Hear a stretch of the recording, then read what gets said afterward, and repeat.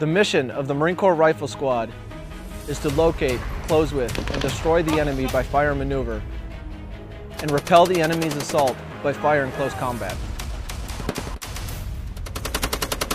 Today we're at Golf 29 Charlie, an infantry platoon battle course that was designed by Marine gunners and built by our very own Combat Engineer Battalion.